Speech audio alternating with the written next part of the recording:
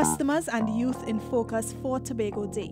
School Diabetic Forum promoting healthy lifestyles and the island to join in International Games Day celebrations.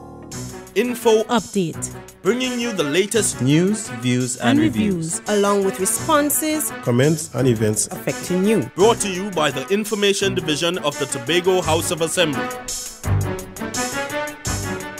We begin with Tobago Day and some of the exciting activities planned before the main event. Caroline Wallace has the details. Tobago Day celebrations will begin in just over one week. Sophia Cooper, a member of the Tobago Day Committee, says one of the main activities on the schedule of events is Customer Appreciation Week.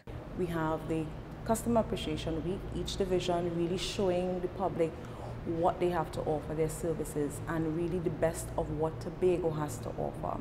In addition to that, there is a praise and worship function at 5 p.m. at Shaw Park. Schools and youth organizations are also included in the celebrations, with a cultural explosion set for Monday, November 29th. Ms. Cooper says this year's celebrations will incorporate the island's political, cultural, and social history. And to really give birth to what that celebration should be, the idea is that Tobago Day should be celebrated by all.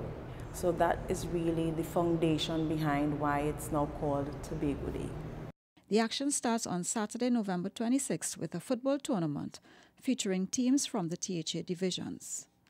I'm Caroline Wallace for Info Update. Now to news of health and a special forum tackling health issues in school children. Here's this story. The number of children with diabetes in Trinidad and Tobago is growing. Creating awareness to stem this tide is one of major motivations behind the school's diabetic forum, which was hosted yesterday at the Scarborough Library facility.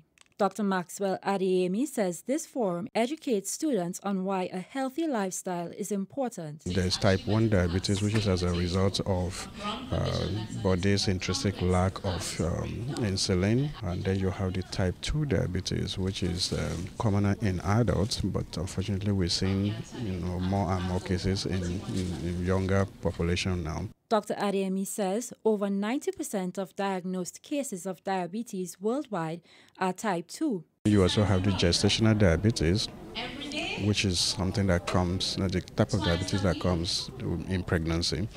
Uh, the significance of that is that it does have impact on the mother during pregnancy and also the baby.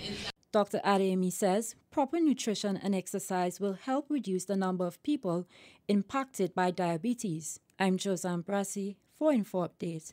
Now for a bit of fun and games as the Tobago Library Services gets ready to observe International Games Day. Homadara Mills with more.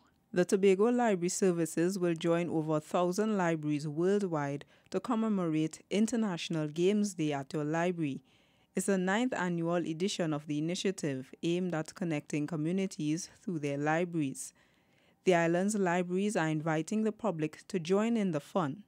On Friday, the Roxborough Library and Roxborough Secondary School will collaborate to host games at the library from 11:45 a.m. to 2 p.m. Activities at the Charlotteville Library will run from 2 p.m. to 6 p.m. on the same day in the Arthur Moore Auditorium. On Saturday at the Scarborough Library facility, gaming will take place between 9 a.m. and 2 p.m.